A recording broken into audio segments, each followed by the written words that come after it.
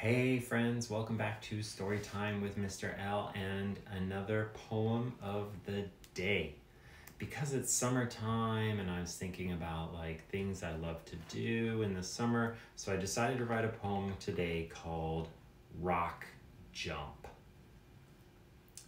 When you wake up in the morning and the sky is blue, you jump out of bed, decide what to do board shorts and sandals, sunscreen applied, out the front door for a quick bike ride, straight to the lake, meet your friends there, start hiking the trail without a care. The water, it sparkles, calls, it gleams. Your feet bring you closer as the forest, it teems with wildlife, sunshine, flowers, and bees.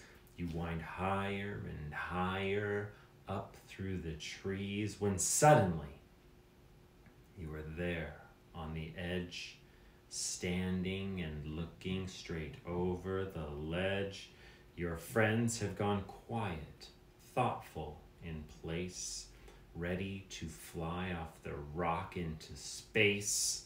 Breathe in, breathe out, one foot out in front spring from the rock, a glorious stunt, fall through the air, the wind in your ears, away from the world, and all you can hear is splash. Thanks for joining us today for Storytime with Mr. L and the poem of the day. See you tomorrow.